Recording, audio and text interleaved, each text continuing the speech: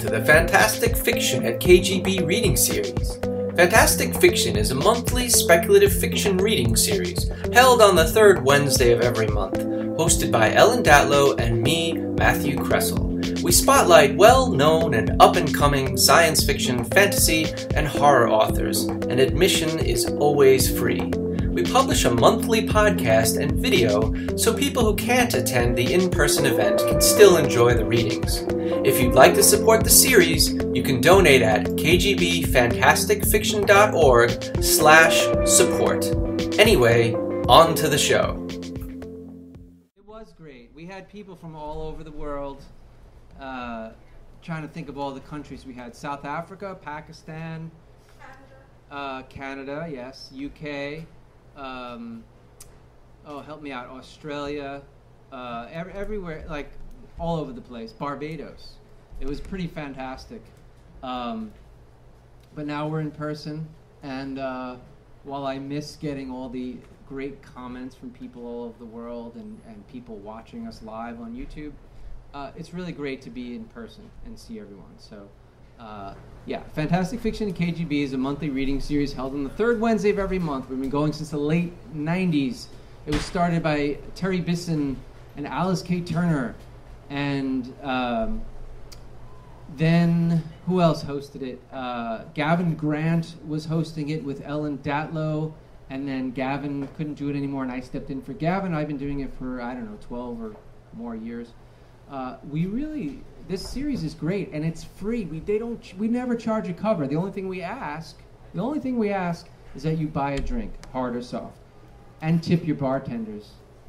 They're working hard to keep you hydrated. So please, if you can, just just support the KGB bar. You support the bar, you support the series. So that's all we ask. Um, I'm very excited about our readers tonight. We have a a uh, uh, a multiple of Davids here tonight. Uh, we have Mercurio David Rivera and David Leo Rice reading for us tonight. Uh, both of them have read for us before, but not for a long time. So I think that'll be great. Both of them also have books for sale. Um, David Leo Rice has Drifters, which is your it's just your short story collection, correct? Yeah. And then uh, Mercurio D. Rivera has Wergen, the Alien Love War. So uh, we hope you'll check that out. Um, also, upcoming in uh, 2022, by the way, happy holidays. 2022, next month, January 19, we, we have Tochi Onyebuchi and Sarah Pinsker, so we hope you'll join us for that. February 16th, the great N.K. Jemisin will be reading for us with Brooke Bolander. March 16th is our favorite guest, TBA.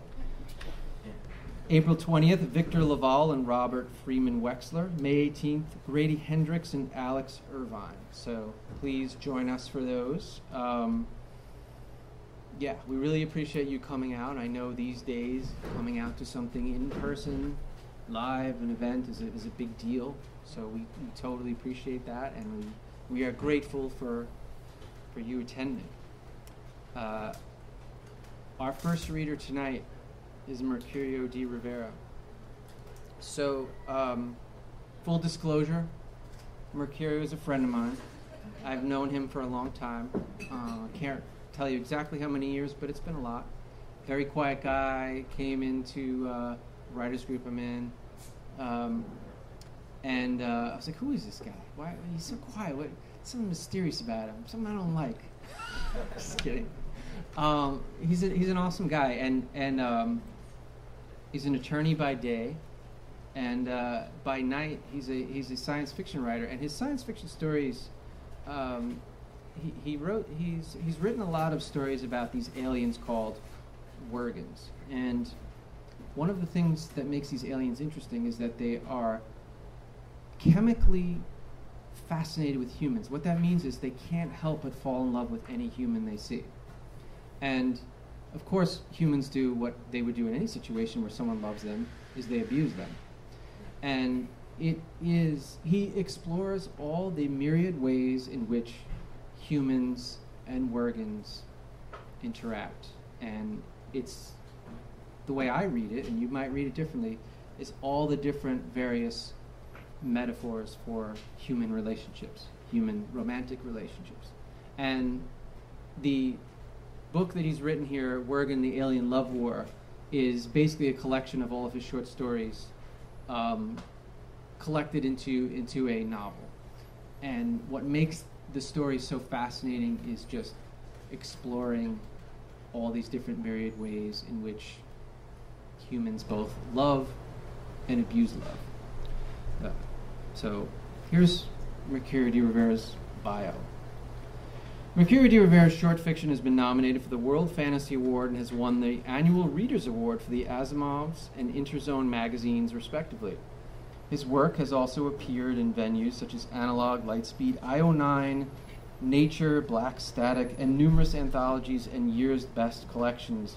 His new novel, Wergen, the Alien Love War, tells stories of unrequited love set against the backdrop of humanity's complicated relationship with enigmatic aliens afflicted with a biochemical infatuation for humanity.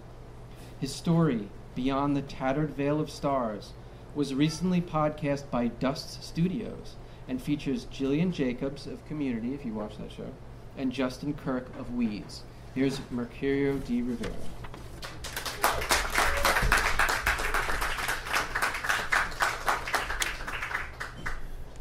Thanks for that uh, amazing introduction, Matt. I really appreciate it. It's uh, I've co-hosted here a number of times, and I have to say it's still a tremendous honor to be asked to read here. Um, and um, as Matt pointed out, uh, my novel is a, what they call a mosaic novel, which is um, it's a mosaic novel, which means it's basically 11 interconnected uh, stories set in the same universe involving the Wergens, as, as Matt so capably described. Um, uh, the story I'm about to read to you is about a man tracking down his wife across the solar system after she leaves him for another man. Um, so let me, it's called In the Harsh Glow of Its Incandescent Beauty. Our seed ship landed at the airstrip near Axelis Colony, where I was sure my wife, Miranda, had arrived a month ago with Rossi. Joriander and Hexa, my Wergen minders, hauled my bags down our seed ship's ramp while I hugged my hooded fur coat tight. Neptune hovered high in the pale viridian sky.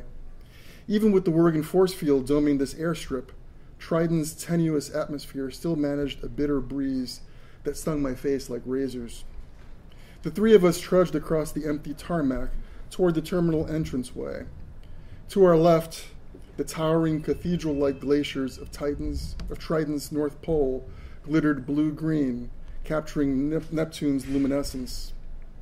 Here, Maxwell, Hexa said, removing a leathery scarf and exposing her scaled face to the elements.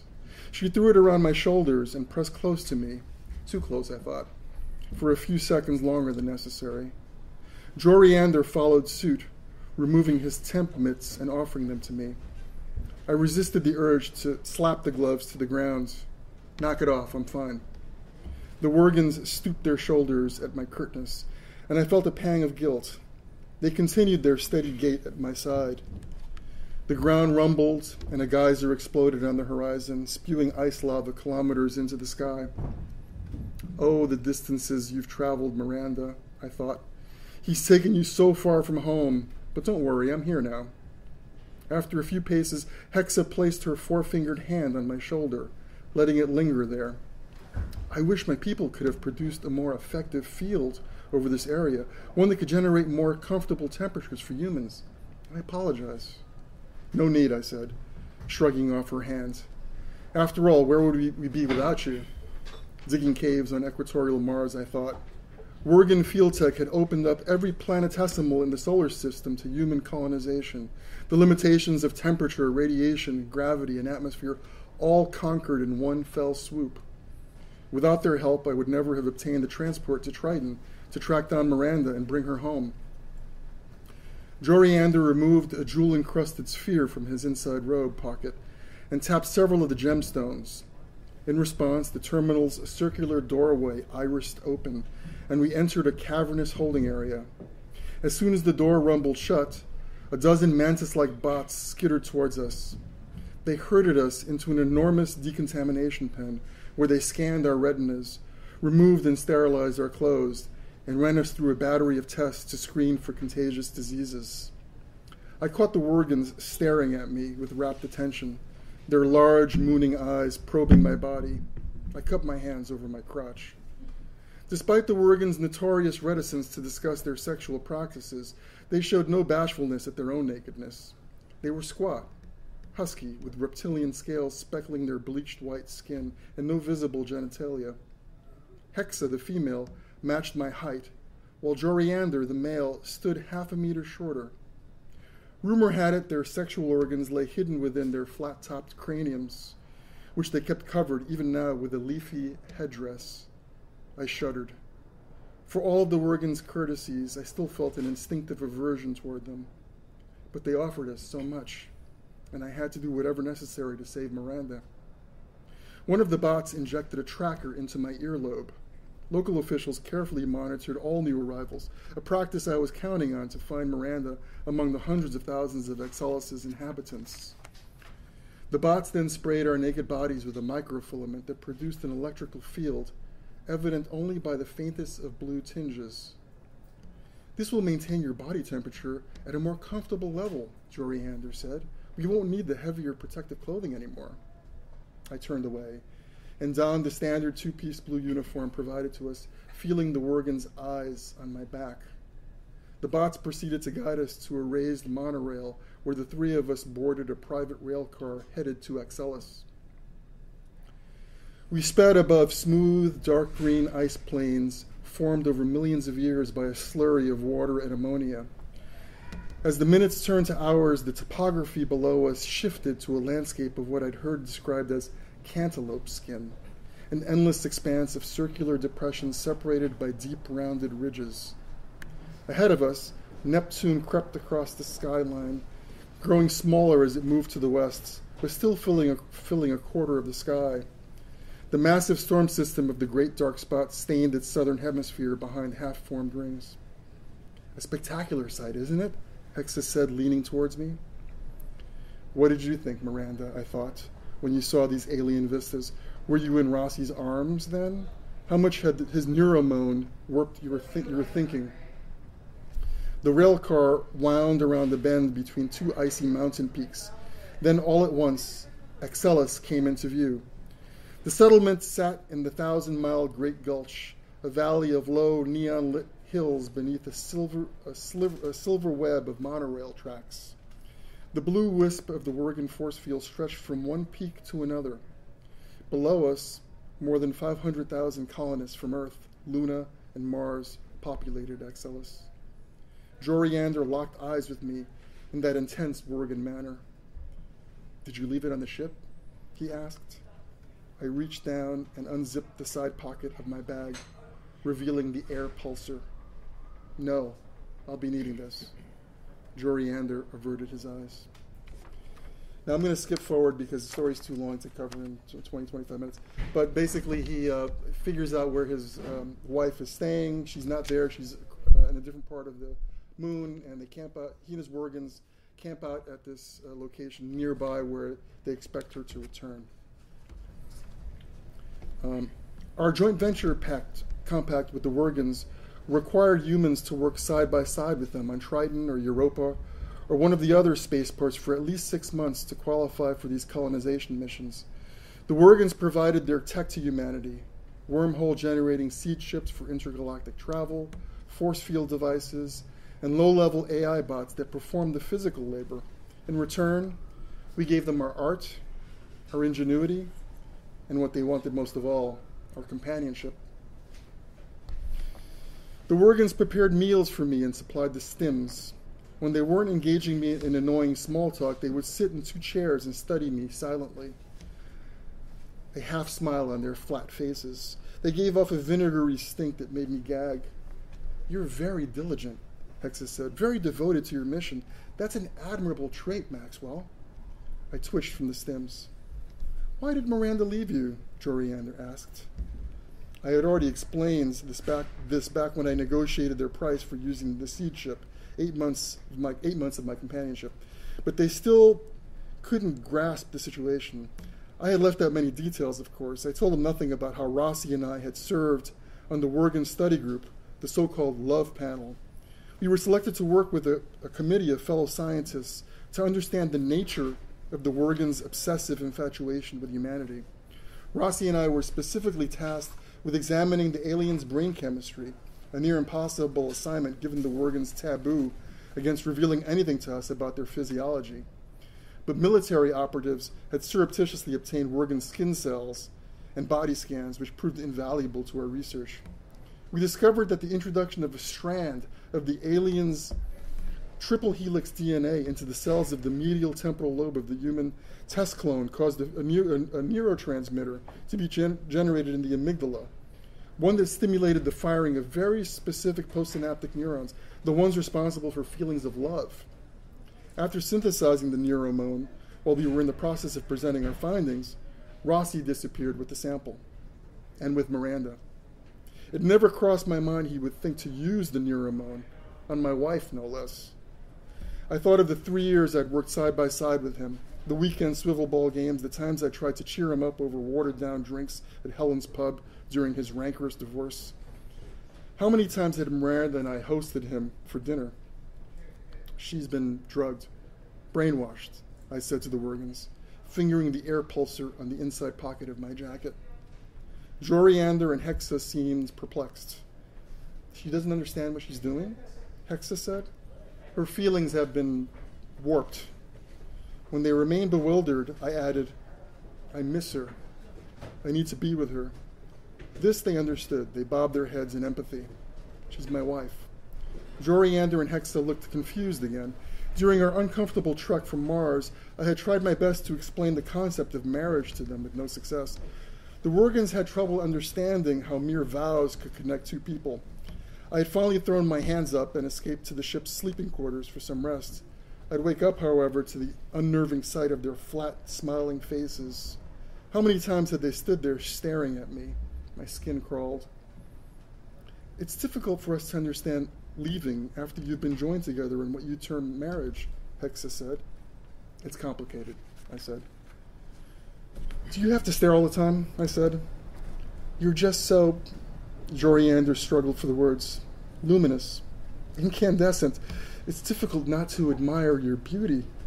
Joriander's response didn't make me feel any more comfortable.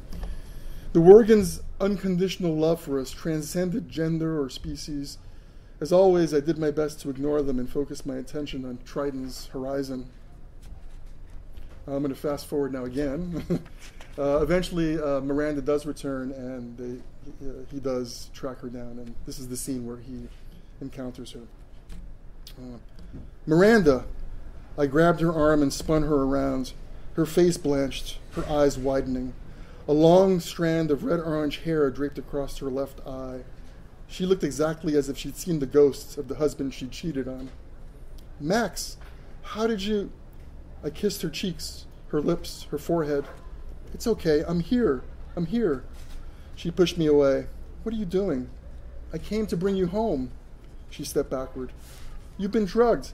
It's a chemical, a neuromone we discovered. The words came in a flood. I explained it all to her how the single vial of the substance had disappeared the night before she left, how Rossi must have slipped the neuromone into some food or, or beverage she'd consumed. Oh, Max, she said, I told you to stay away. None of this is your fault, Miranda. There would have been no way for you to resist. You would have fallen instantly in love with the first person you saw. Max, I need for you to listen to me. She put her hands on my forearms, as if both to steady me and keep me at a distance. I know I'm drugged. She paused for a beat, as if to let the message sink in. Rossi confessed everything to me. What are you saying? I felt as if the floor shifted under me. I'll work on a treatment, Miranda. No, you don't understand. I'll find a way to counter the effects. I want to stay here with Rossi. Her words stunned me. I know I should be furious. I should feel victimized. But after discussing it with Rossi, uh, that's not how I feel anymore. I'm, I'm an adult, I'm lucid, rational, and I'm in love with him. Deeply, totally, unconditionally in love. I'm the happiest I've ever been in my life. You're not thinking straight. She shook her head vigorously. Look, The chemical stimulates the processes in the brain where a person is in love, correct? In other words, if you compared my brain chemistry with that of a normal, happy newlywed, there'd be no difference between the two, isn't that right? Well, yes, but in your case, it's been triggered by a foreign substance, a drug. So what? Miranda, so what? What difference does it make what the origin of these feelings are? The point is that they're real to me. I'm in love with Rossi. I couldn't believe what I was hearing. And what about me? A long pause followed. I've behaved unforgivably. You have every reason to despise me for what I've done. It's not your fault. No, I should have settled things with you before leaving, Max, she said, but I was too much of a coward. Maybe someday you'll find it in your heart to forgive me for what I've done. But right now you need to forget about me and get on with your life. I can't do that. Not while she remained under the, under the Neuromone spell.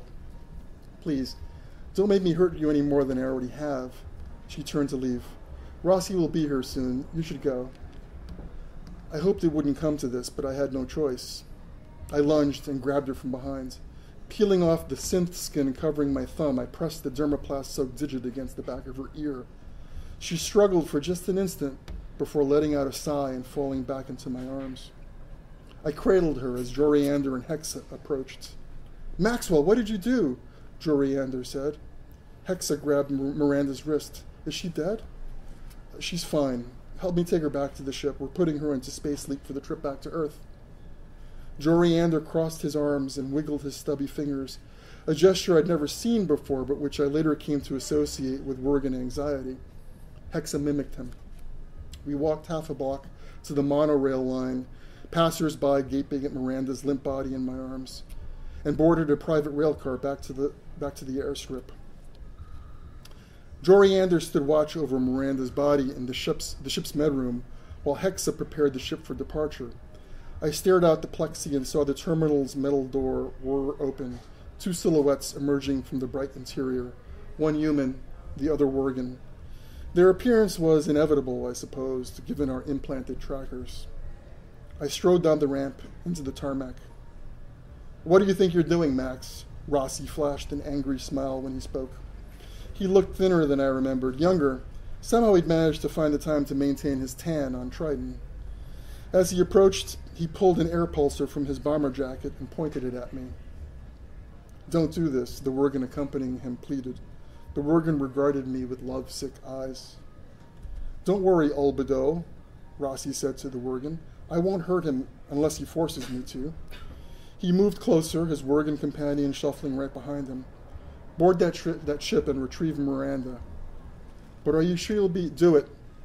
The Wergen crossed his arms and wiggled his fingers while striding up the ramp, disappearing into the vessel. I trusted you, son of a bitch, I said. I thought I saw regret flash in his eyes for a microsecond. Don't play the victim here, Max. It doesn't suit you.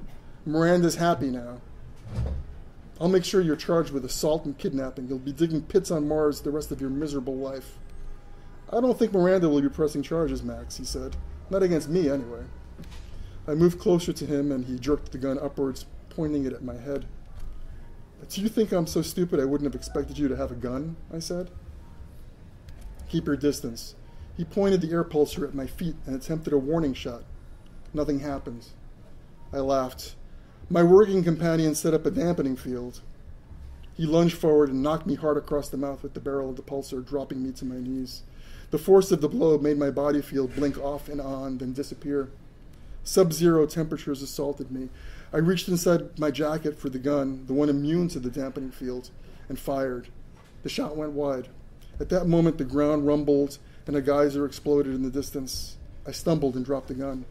It slid forward, and Rossi dove for it ahead of me.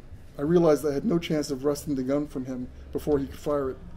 Scrambling backwards, I raced along the tarmac away from the ship in the direction of Triton's towering glaciers.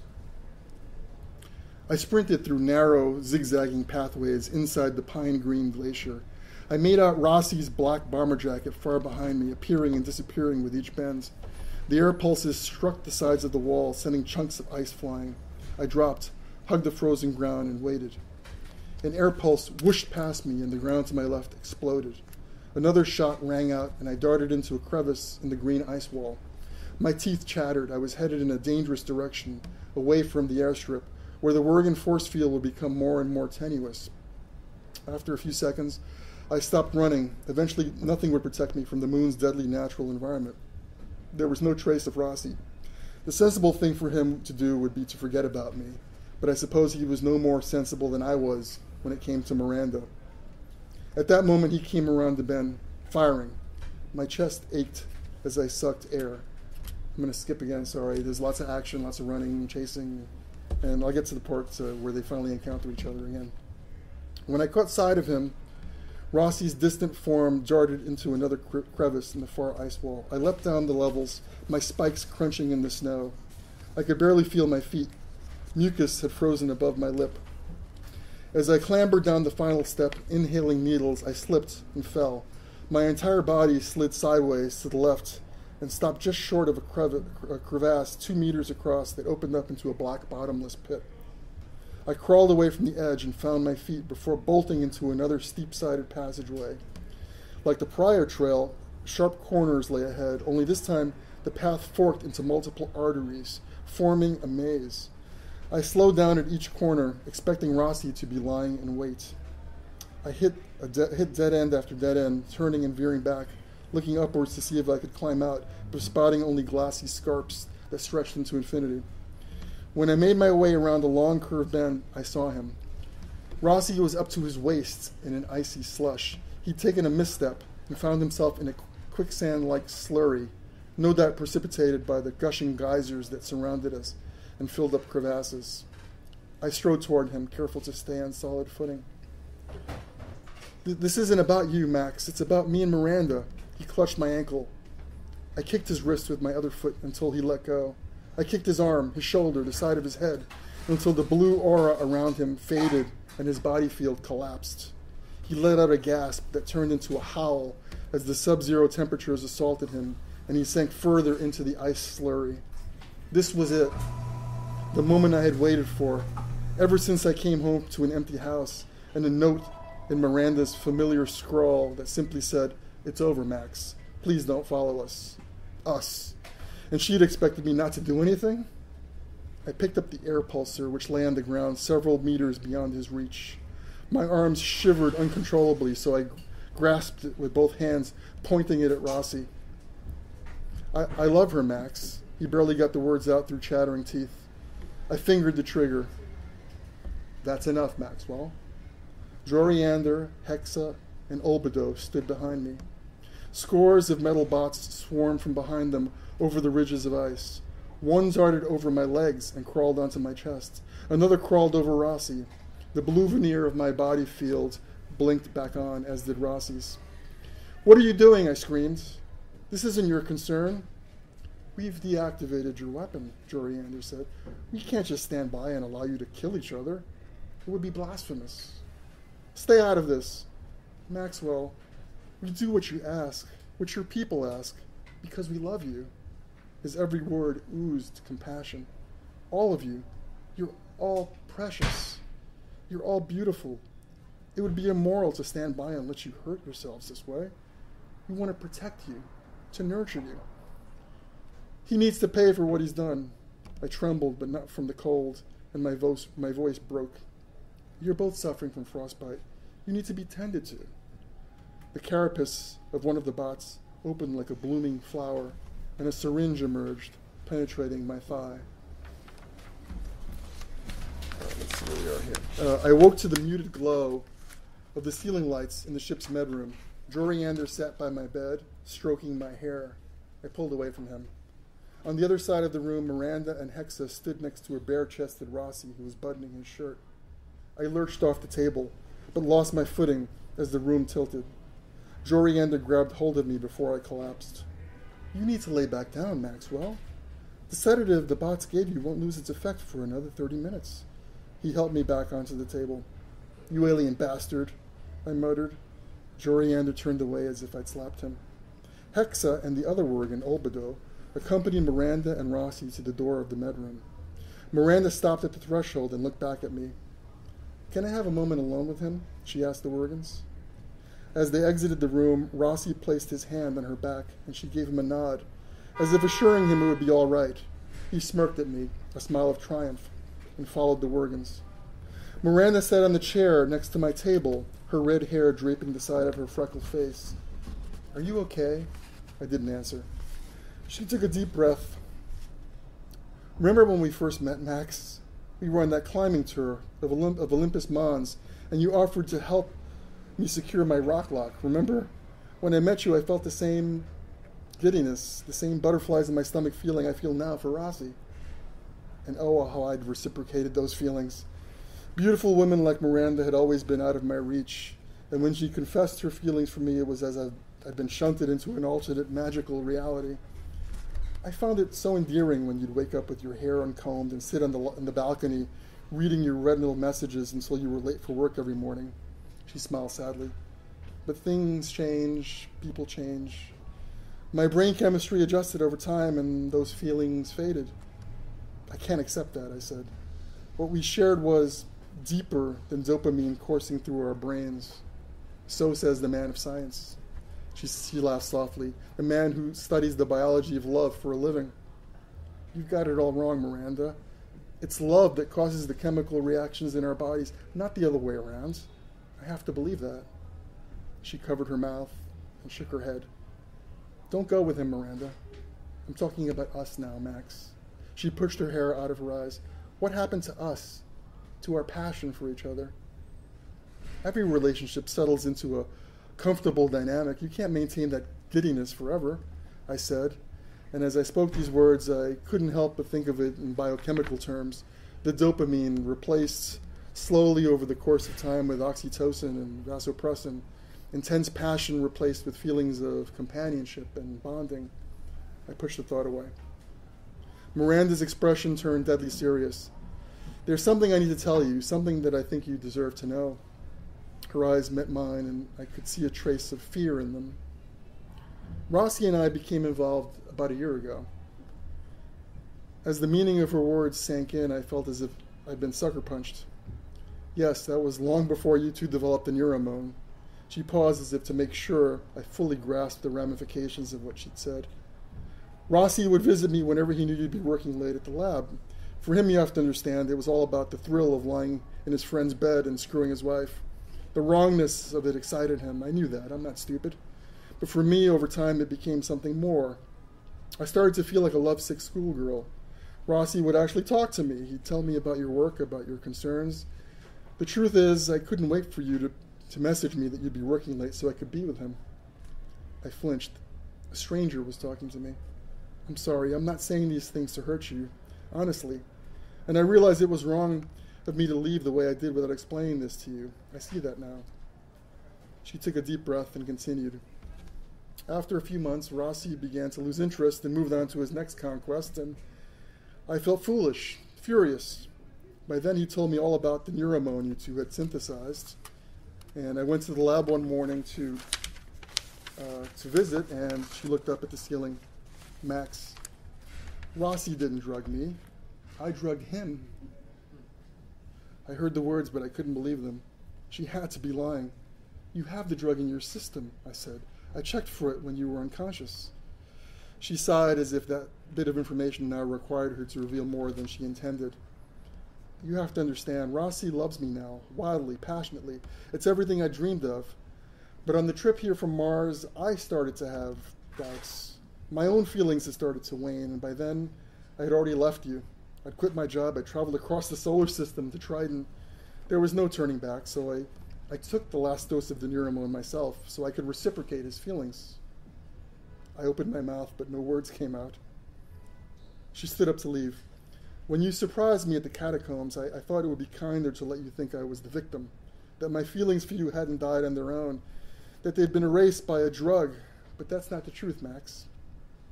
So I did all this for nothing.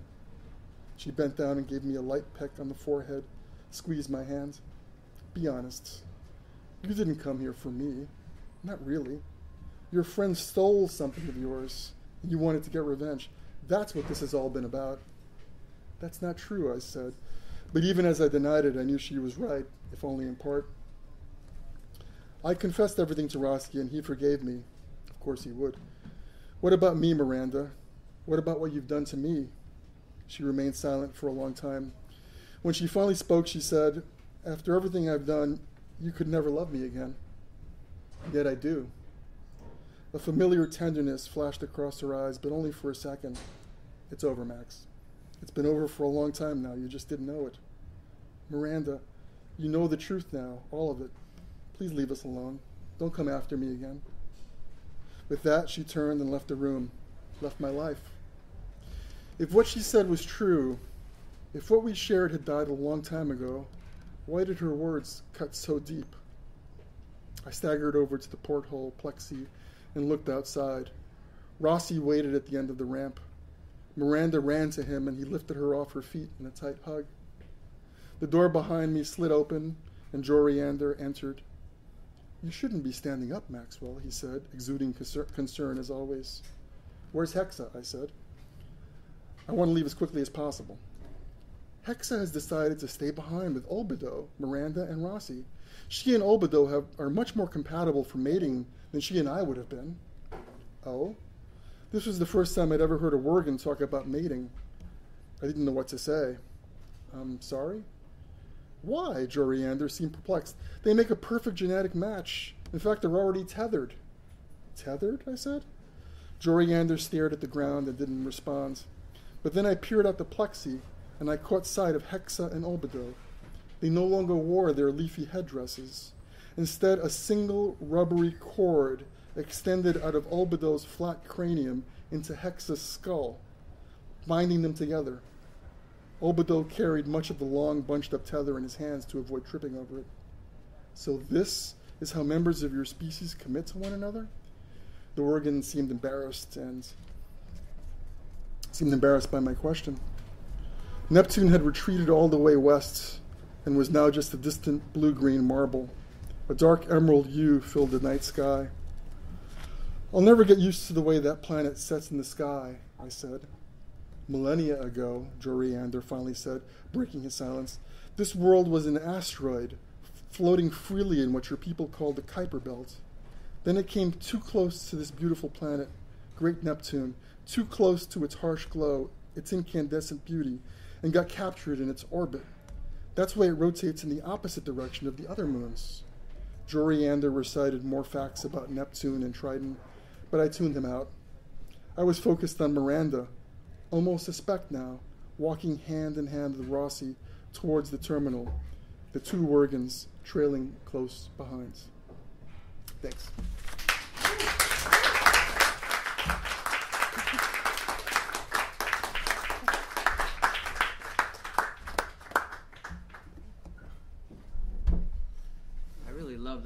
part where, Triton gets captured by Neptune, which is like a metaphor for getting captured by the, the one you love.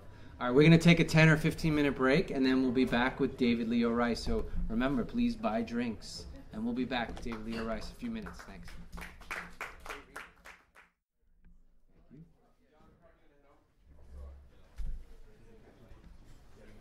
Hi, everybody. Uh, my name is Rajan Khanna. I'm standing in for Ellen Datlow tonight, who is attending Worldcon in Washington, D.C. Um, I want to mention that both of our readers tonight have books up here uh, that they're willing to sell, they're willing to sign, I believe, uh, personalize. Um, you know, cash gifts I'm sure are really accepted for special messages. Um, but if after after the end of the reading, if you want to come up and say hi and buy a book and get it signed, please do. Um, I also want to say that I've been coming to this reading series for like close to 18 years now. And as Matt said, it's been free the entire time, which is great. I used to take the train in from Jersey and just come here and then go home at the end of the night. Uh, the only thing we ask is that you buy a drink, and if you've already bought a drink, if you want to buy a second one, please do, or a third. Um, and I will promise there's no judgment if you want to get a seltzer or a soft drink. I will promise for myself that there's also no judgment if you want to get a double whiskey because you know it's kind of been that kind of year. So, um, but it is my pleasure to introduce David Leo Rice, who is our second reader. Um, David Leo Rice is a New York City-based author. His novels include Angel House, the Dodge City trilogy, and The New House, forthcoming in 2022. Drifter, his debut story collection, collects a decade's worth of short fiction and was one of the Southwest Review's top 10 books of 2021, as well as one of Dennis Cooper's favorite books of the year. He also teaches at Parsons School of Design and co hosts the Wake Island podcast. So please, everyone, welcome David Leo Rice.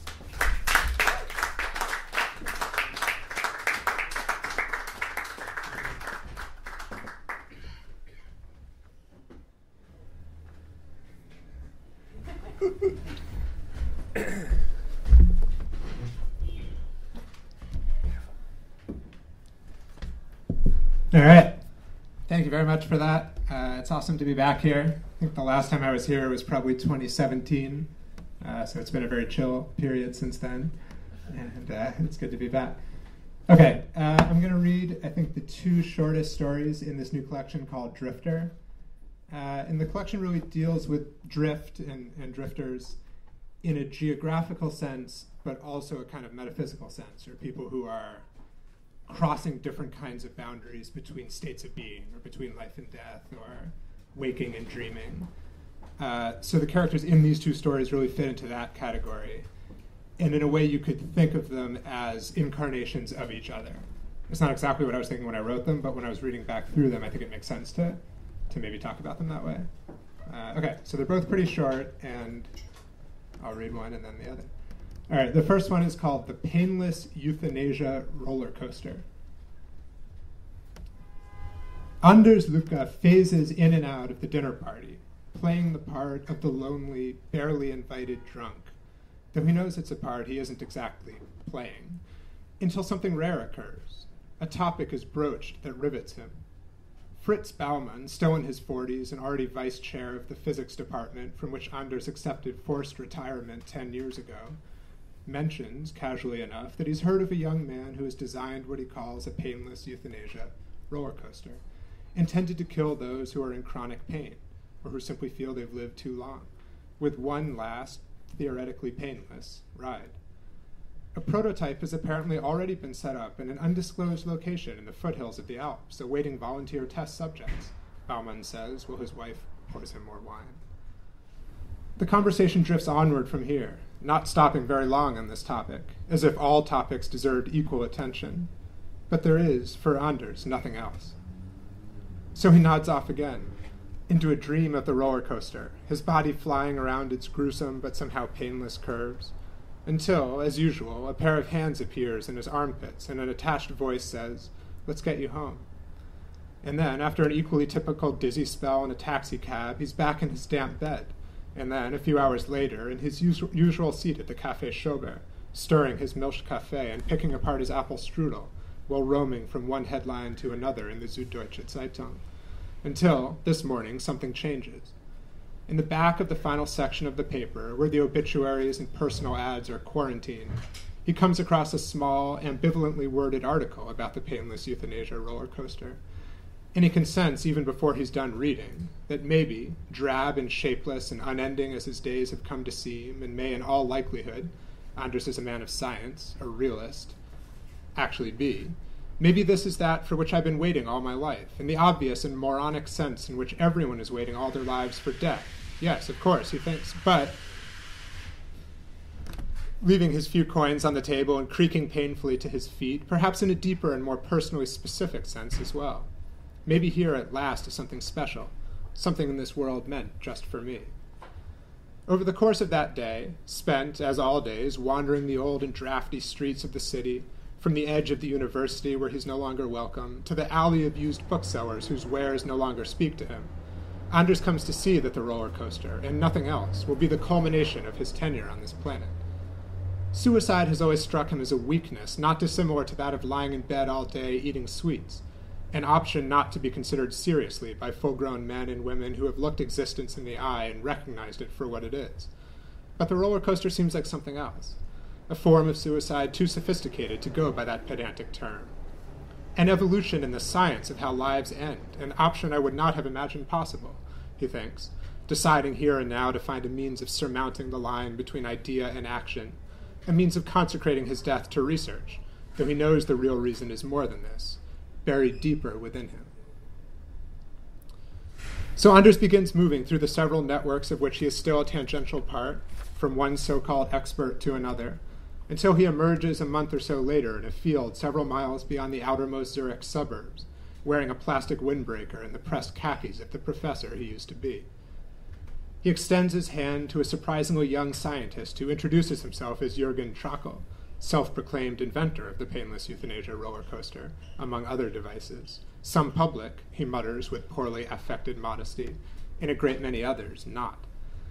Anders' attention is already on the steep, wild curves of the apparatus, jutting upward toward the occluded moon, each loop narrower and more vicious than the last. You understand what this is, yes? He hears the young man inquire, in the clipped, hasty manner of a scientist eager to dispense with formalities and get down to the substance of his experiment. Anders, of course, is just as eager. I do. The roller coaster, if it works, will kill me. All this, he gestures at the field, the stars, the Alps, will go away. Jurgen nods, clearly relieved to be dealing with so sanguine a subject. The torque of the loops, combined with the acceleration of the car, will pool increasingly more blood in your lower extremities. First your feet, then your shins, then your thighs, until, by the final loop, your heart will be unable to recover that blood, and you will, quite painlessly, switch off. He looks at the roller coaster as if to verify that what he's just said about his own work is correct. Then he adds, Of course, the Swiss government would never approve its testing.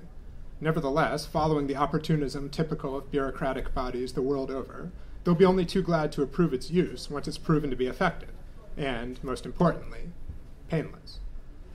Thus, I've let it be known that my prototype exists and is now ready for the right kind of test subject.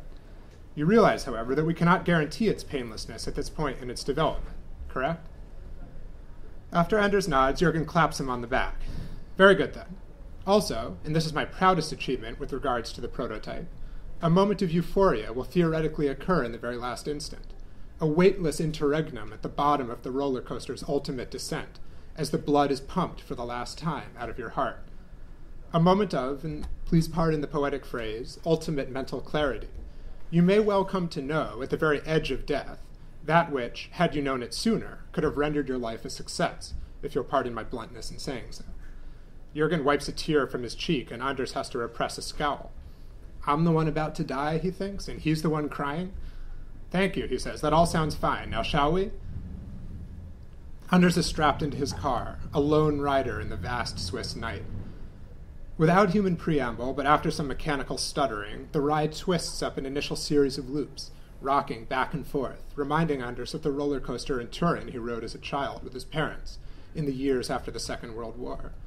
The memory brings a tear to his eye as the roller coaster tilts upward, gaining speed, then barreling down, twisting him violently, though not quite painfully, jostling his organs, raining blood inside his head. He finds himself wondering when it's going to happen. When, not to mention what, the crucial moment will be.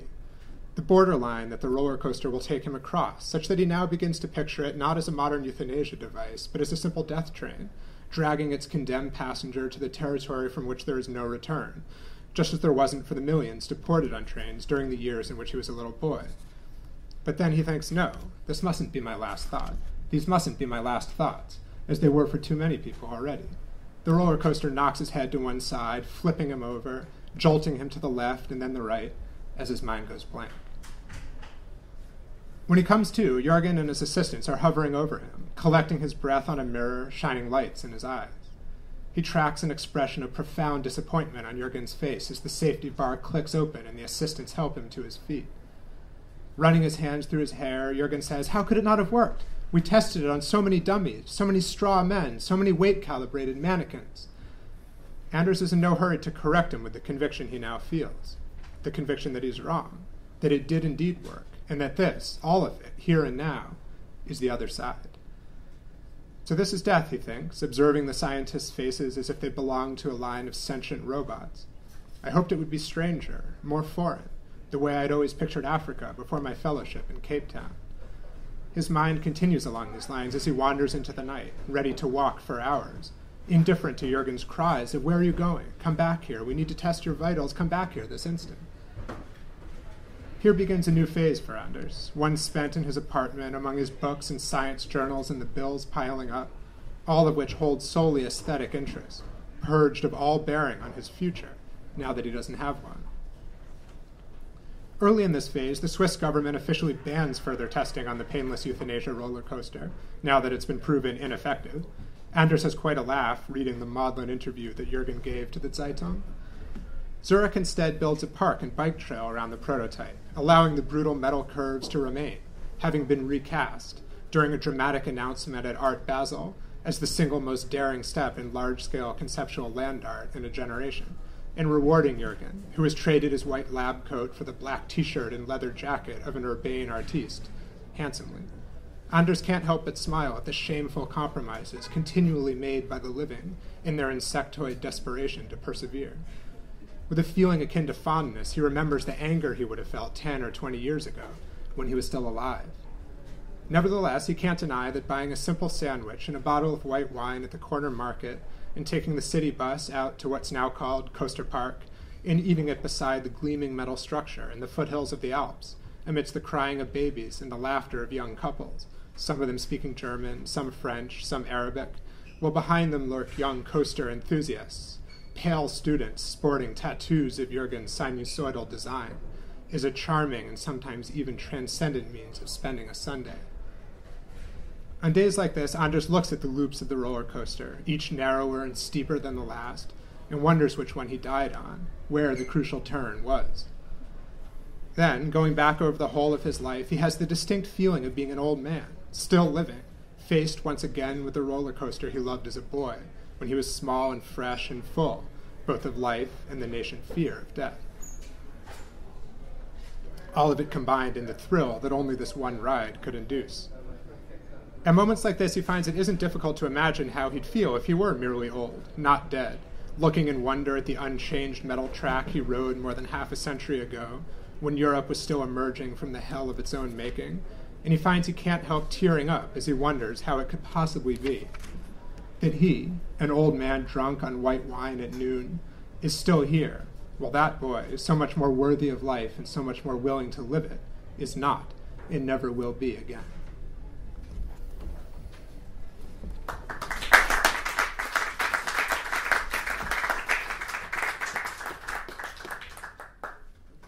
Except the good news is, it turns out that boy is still alive. Uh, he's in this story now. All right, this one's called Jello. Jay's parents tell him never to go to the basement because there's something wrong with the foundation of our house, and if we ever went down there, we'd have to find out what it is. So, for the first seven years of his life, he doesn't. He does what they tell him to, like go to school and carry the trash out to the curb and only watch one movie on a Saturday night, and brush his baby teeth, because even though they're going to fall out, his gums, hopefully, aren't. He doesn't like it, but he does it. He wonders sometimes what's down there, and if finding out might actually make his life better, not worse. But until he's eight, he resists taking any action. Maybe, he thinks, the life I'm living is the best one, if not the only.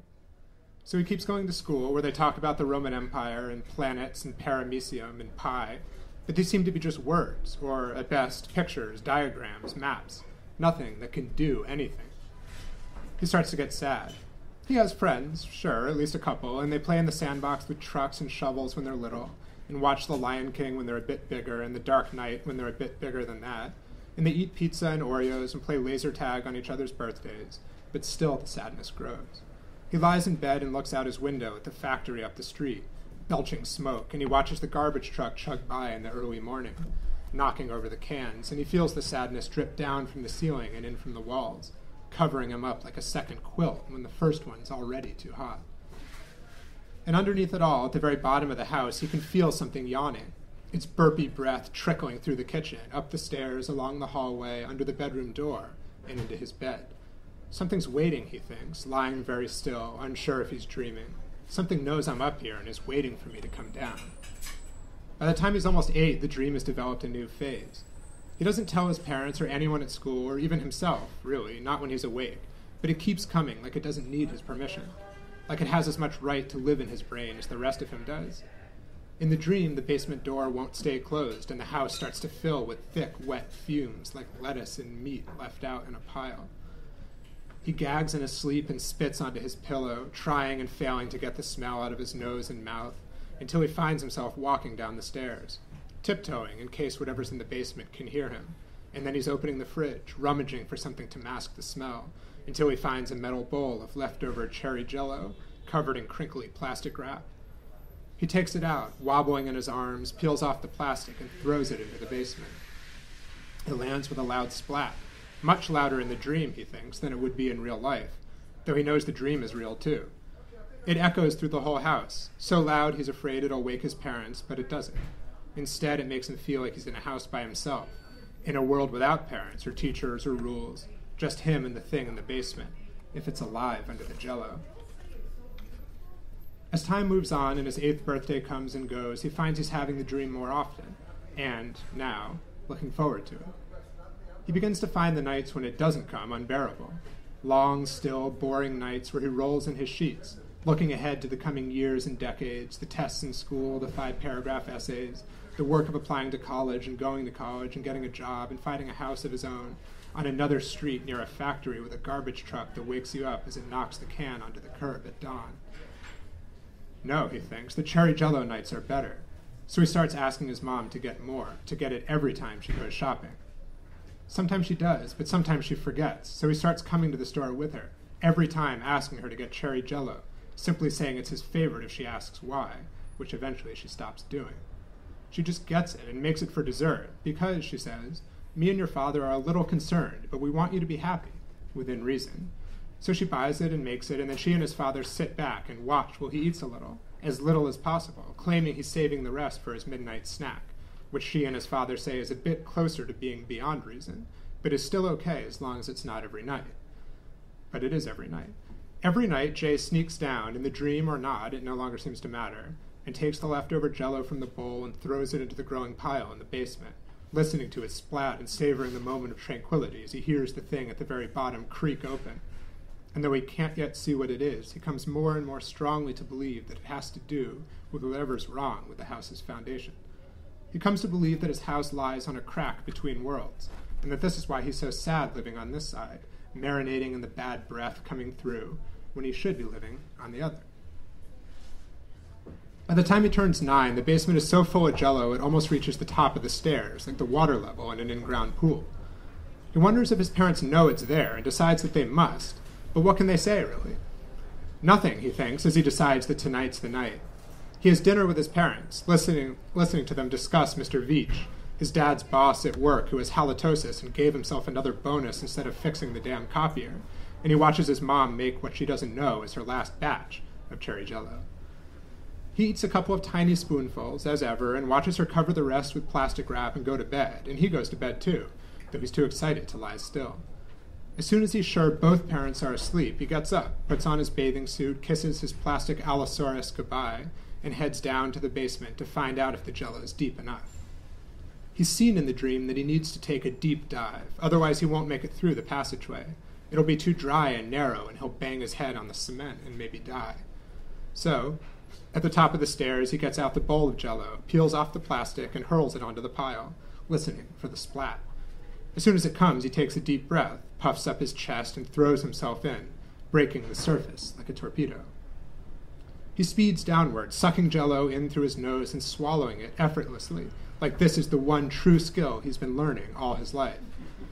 It doesn't fill him up, doesn't make him sick, it just makes him stronger, helping him fight his way down, past the suspended bicycles and barbells and boxes of papers, all the basement trash hovering between him and the crack in the bottom swallowing more and more. He cuts through the jello with the sides of his hands and forearms, pulling himself downward through the dark red toward a glowing seam far below. As he approaches, it stretches open, glowing reddish pink, and he knows the jello's working. He knows it's doing its job. He closes his eyes, takes another deep breath, which serves to fill his lungs with cherry, and goes through. It sucks him in, spins him around, and for a moment he blacks out everything becomes distorted and hot, and he forgets his name and where he came from and why he's here. The cherry smell is gone, though the redness remains. He swims deeper, pushing his way through the murk, determined simply to keep moving. Time slows down or speeds up or ceases to apply. Perhaps, he considers, years are passing. Perhaps I'll be old when I get out of here, if I ever do. Swimming along once he's gotten used to this new place and let go of any effort to determine what it is, he comes to an area with a number of hovering beasts horses, crows, eagles, parrots, and other mammals and birds hover in reddish aspic, kicking their legs and scrabbling their wings, trying to break free, but not trying that hard. They look worn out, confused, resigned. Some are completely still, hanging in place with their tongues out, their eyes filmy and gray. He looks at these creatures and begins to get scared. This isn't normal, he thinks. This isn't right. Whatever's happening to them, I can't let it happen to me, and it wants to happen. The jello wants to slow me down. It wants to hold on to me. It wants to make me a morsel in its giant, sloppy gut. He swims harder, aware that his energy is limited, but determined to get out of here before he gets stuck. His stomach hurts now and he can't swallow anymore, so he has to spit as he swims, pulling it past him with his eyes squinting just enough to see a bluish light in the far distance. Good, he thinks. Anything other than red. Now he's passing people suspended around him, old people mostly, their hair white and their skin wrinkled and loose, but some young people too, with angry, envious eyes staring at him as he swims past. He picks up the pace even though it exhausts him, forcing his way toward the blue light, which shimmers brighter the closer he comes. He starts to wonder as he gets near it about what it might mean to leave the jello behind, about whether the blue is where he was going all along or if it's actually back where he started. But it's too late now. He's almost there. Maybe he finds himself thinking, his voice familiar in his head again. All those horses and crows back there, maybe they all got part way toward something, toward whatever it was that I too am trying to reach, but then they just. He doesn't bother completing the thought. He doesn't have time. Now he's surfacing. First his head, then his chest, then his waist. His feet are planted firmly in the sand, and he's striding out of the surf, panting, spitting ropes of snot, coughing into his fist as he scans the beach, which is full of families. Umbrellas, carts, screaming babies, flying frisbees, and behind it all, a row of cars parked in the sun. After he catches his breath, he begins walking along the beach, glancing at the families, wondering which one is his. And if none of them are, he thinks, unsure if this notion is strange, I'll just pick one. Doesn't matter which, just any family that seems to have space on its blanket. As he's walking, looking at one set of faces and then another and then the one after that, he feels a hand on his shoulder, clamping down. He spins around to see a tall, thin boy in board shorts and an attempt at a mustache. Yo, Mike, the boy says, I was looking for you. Want to get some food? Mom gave us cash. He waves a 20 in the air and grins. Following the older boy, his brother, apparently, up the beach, the person whose name is now Mike feels his memory of Jello in the basement in the crack slipping as his mind fills with questions of hamburger or hot dog, curly fries or sweet potato, regular Coke or diet.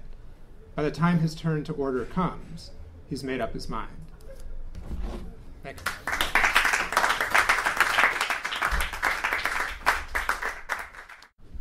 Thank you, David. Thank you, Mercurio. I'll never think of Jello the same way again after your story. Uh, we're gonna do something a little different tonight. Uh, this is our third month doing this, and uh, 21st month, if you consider our virtual readings, we're gonna do a Q&A.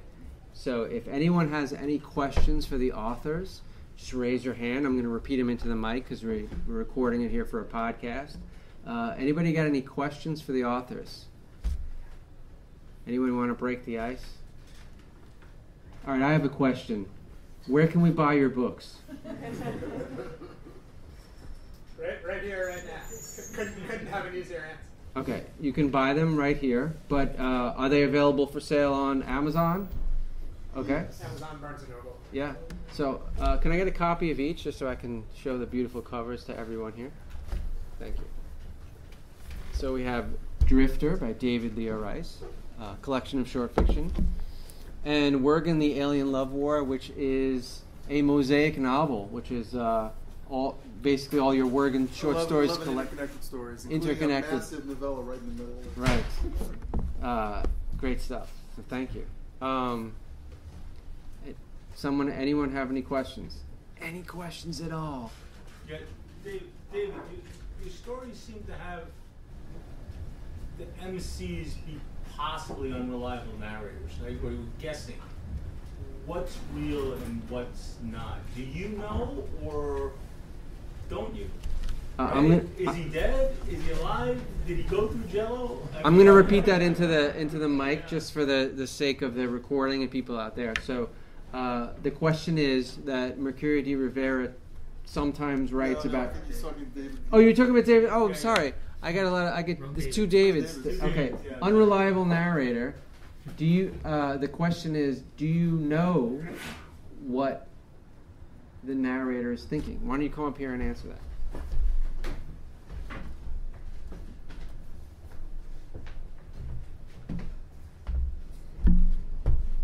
Uh, that that's a fantastic question. Uh, I think I only know what the characters experience. You know, so I try to like imagine how it would feel if something otherworldly seemed possible, but you could never be sure. You know, because I think often my sense about fiction, and maybe particularly short fiction, is like trying to give a concrete form to a underlying like hunch or kind of sense that you have about the world, then maybe it's more than it seems, or maybe things that we consider impossible are possible, but that you never really get confirmation. Like you just can't be sure. Even when you've had the experience, you still don't really know what you've been through, or if it was subjective or, or objective. Absolutely.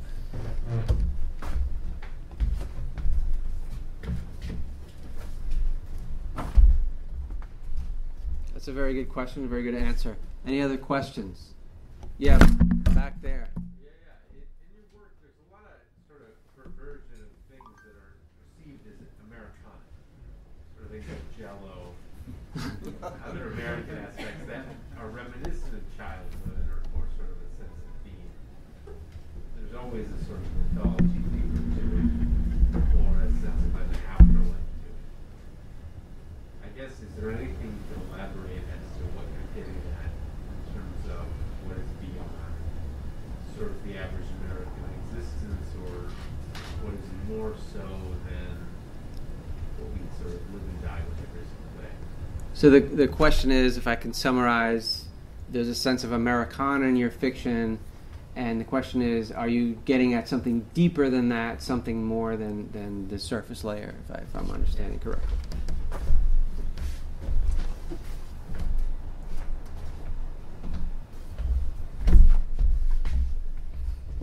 Uh, yeah, d- absolutely. yeah, it kind of made me think that, you know, the way that like consumerist Americana, like like Jello or something you could get at the grocery store, also relates to childhood. You know, in a kind of rural American childhood, which I feel like is something I, I return to a lot. You know, it is my own childhood. Uh, I like this idea of an inversion that I think we tend to think of America as like late, right? As like the end of history, or like the authentic world was before, was in the old country or the old times, and we've reached this like plastic stalemate or TV stalemate, you know, which may be true in a way, but I like subverting that by trying to almost invest like sincere emotional energy in products or in places or images that almost seem like they don't deserve it you know, and that feeling to me, you know, it is perverse in a literal sense of just like going against the grain of something. But I think it's actually really important. It, almost relates to actually a kind of like religious conviction that, that I have that like trash has a kind of spiritual potential, you know, that you can't try to like look beyond a fallen world toward a perfect world. Or I guess you could, but that it might be more interesting to look into the fallen world to see what's actually potentially quite interesting and, and uh, charged up with a kind of transcendent potential within that junk and within you know infomercials and malls and uh, fast food and like all the stuff that we kind of recoil at in American culture, but I think many times are also like secretly longing for and are ashamed of in a sense, and like that shame is is good territory to work in.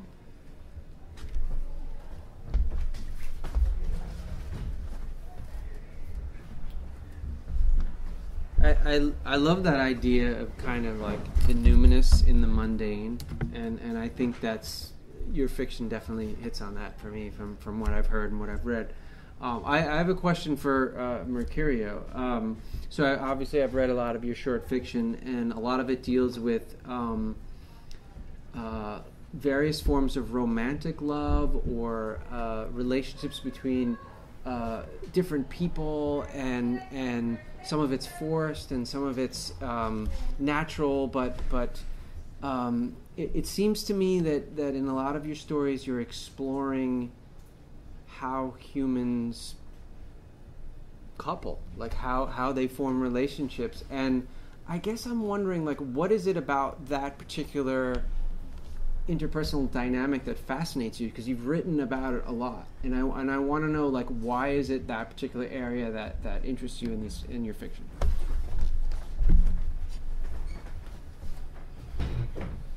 I guess I guess it's just the, the mystery of it. I mean, science fiction explores uh, mysterious things in the in the universe, and, and I, I can't help but think that one of the most mysterious things is love.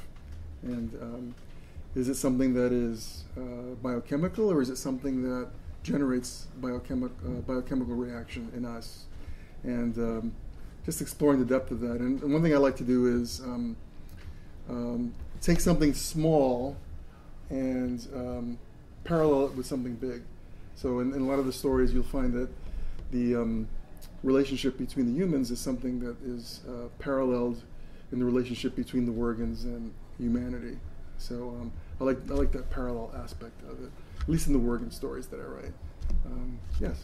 So follow up question because I was thinking of this before Matt asked his question. Mm-hmm. Um, to what degree do you think that a lot of the relationships that you're exploring are abusive in a way, because certainly the way that they'll work, and it's so easy to take advantage of them because all they feel is love. Right. And in this story, there is definitely a sense of emotional abuse, some of it potentially real, some of it imagined. And I remember that dynamic a little bit in some of the other Wergen stories I've heard you read. That's that's Can true. repeat that into the mic, just, just so yes. The, the, question was that a lot of the stories involve uh, the abusive aspects of love, and uh, that in some of the other stories that have been read, uh, that plays a large part in the plot. And absolutely true that I, I, like that exploring that aspect of it. And there is a shift in the dynamic. I mean, these Wergen stories, I started writing them back in 2006, 15 years ago, and um, that's not all I write, by the way. Um, but over a period of time, occasionally, whenever I write a story that deals with love, I find myself injecting the Wergens into it and writing writing a story set in this universe. But um, the power dynamic does shift. Uh, when the stories begin, the Wergens hold the power, and over as the stories progress, once the humans realize that the Wergens unconditionally love them, they find they can abuse that relationship to their advantage, and the humans gain the the power as the stories progress. And um, the whole, I mean, the whole arc of the, human, the relationship between the Wergens and humanity is is, is sort of a big metaphor for one big romantic relationship. There's the courtship, there's the period of happiness, there's the big breakup, and there's the attempted reconciliation at the end. Um, but yeah, I like exploring all those aspects of it. Thanks.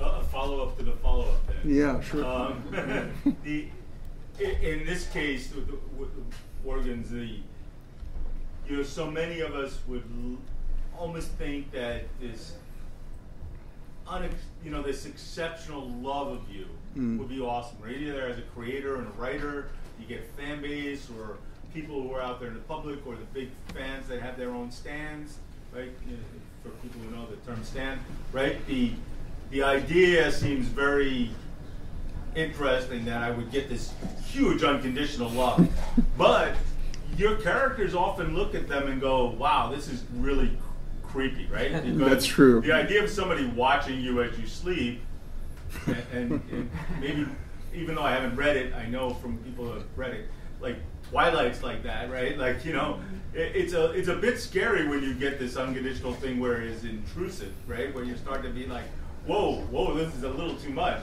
Yeah, there's no, no doubt. The, the question was that. Uh, at some point, does the love become smothering and difficult to take? Uh, some of the characters in the stories react that way. Absolutely.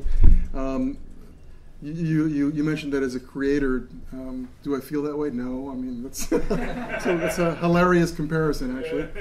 But um, uh, the characters mostly react with an aversion to the Wergens and their unconditional love. I don't know what that says about us, but uh, I just found that that, for some reason, I believe that reaction that, that unconditional love is sometimes difficult to accept.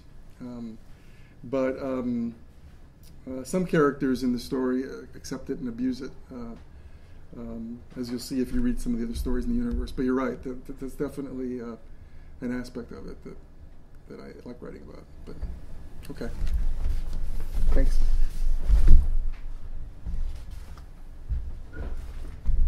I think the most fascinating thing for me in, in reading the stories was was just the variety of different uh, relationships that are explored within that, and, and, and abuse of that love is one of the one of the things that are explored in his stories. Yes, Roger. Uh, for, for both authors, because um, you mentioned your childhood in the reference to the Americana and you know love you're drawing on relationships. Um, how much of your personal experience do you put into your stories, and, and, and how does that manifest? Uh, the question that uh, Rajan asks is how much of your personal experience enters your story, and how does that manifest in your stories? We'll just very very quickly, I'll say that there's nothing more universal, I think, than unrequited love. It's something that all of us have experienced in our lives, where you know you, you feel a certain way and it's not reciprocated.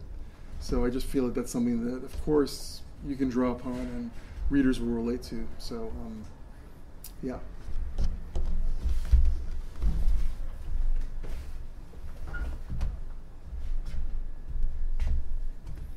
Uh, I would I would totally agree. I mean, I think it. I often consider fiction as like a inner autobiography in the sense that you totally, maybe not totally ignore but like radically downplay your external experience and try to turn your thoughts and dreams and like internal impressions into events.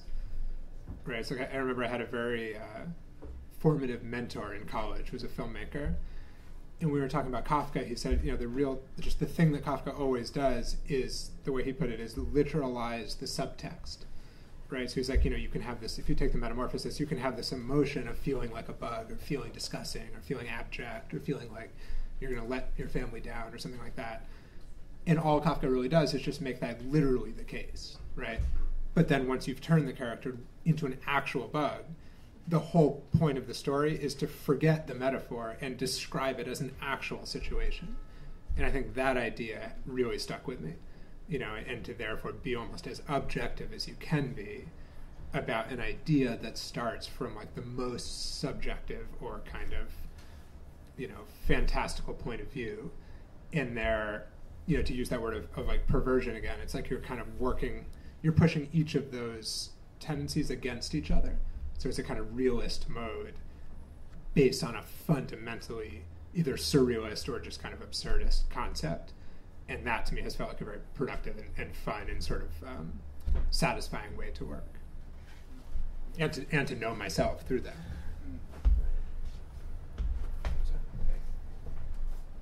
I mean, I, I think that's a lot of ways the power of, of speculative fiction in general is just taking the metaphors and making them real and then it, it amplifies the, the, that particular situation, especially like on an emotional gut level. And a lot of times we don't even necessarily realize consciously how it's affecting us, but it, it definitely affects us.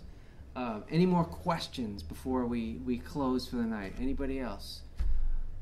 All right. Well, um, I really just want to thank everyone for coming tonight in person. This was this was great. I, I know that. Uh, in these COVID times, coming to an in-person thing is, is not necessarily easiest. But so I really appreciate everyone uh, coming out. Um, we we appreciate it. Uh, please uh, check out Mercurio D. Rivera's books and David Leo Rice's books. Uh, their books are for sale here. Uh, you can get them signed or on your favorite bookstore. And uh, we'll be here next month with. Tochi Onyebuchi and Sarah Pinsker. So we hope you'll join us for that. Happy holidays, happy new year, and please buy drinks and, and support the bar. So thank you all. So see you next month.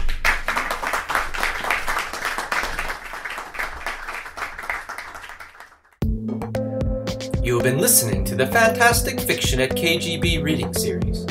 Check out our website at kgbfantasticfiction.org and click on support if you'd like to help keep the series going. Anyway, that's our show. Thanks for listening and see you next month.